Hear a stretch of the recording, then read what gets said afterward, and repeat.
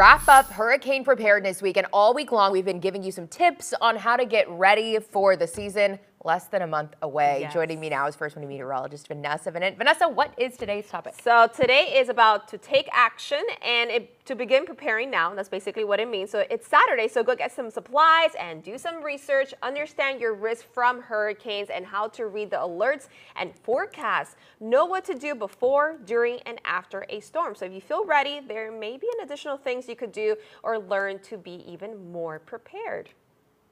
Vanessa, thank you. You've, you and Brooke have been working all week to get us prepared. Yep. It certainly feels like hurricane season already outside.